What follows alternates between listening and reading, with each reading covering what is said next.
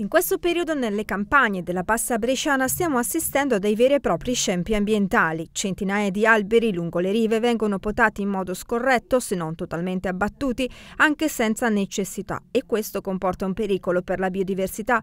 Potare in modo consapevole è però possibile, se non doveroso, basterebbe solo un po' di pazienza e buona volontà, seguendo l'esempio degli agricoltori del passato, come ci spiega Mario Caffi, ornitologo, che si sta prendendo cura, anche per motivi di studio, di una riva nella frazione Motella di Borgo San Giacomo. Questo è un taglio particolare che ho fatto io e che facevano una volta con le ceppaie. All'inizio sappi che questa zona era tutta abbandonata, io l'ho ripresa, inizialmente ho messo del salice che fa prima partire, fa prima fare l'impatto verde, poi piano piano sto cambiando tutto, sto mettendo il sambucco, sto mettendo il platano, e qualche robinia per farlo diventare un'area verde, un piccolo gioiello. La ceppaia lì, vedi, io ho tagliato quello grosso e ho lasciato due getti per l'anno prossimo.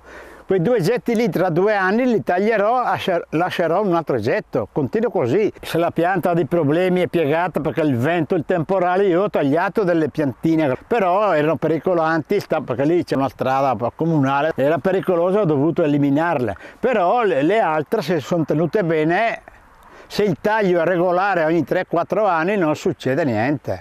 Abbattendo un albero sparisce anche il nido che un uccello aveva costruito gli anni precedenti, un danno anche per i nuovi arrivi. I benefici di una potatura consapevole sono quindi enormi. L'anno scorso ho avuto quattro nidificazioni importanti, addirittura di due uccelli che vengono dall'Africa transahariani, come la verla piccola e la tortora selvatica. La ceppaia porta alimentazione, sai quanti insetti e quante larve che ci sono all'interno e poi anche i picchi e altri uccelli vengono alimentati spostarsi sulle, sulle ceppaie. L'uccello di solito lui, lui guarda l'ambiente. Se quella tortora selvatica che è venuta l'anno scorso, la verla, si ricorda questa riva, ritornerà ancora qui.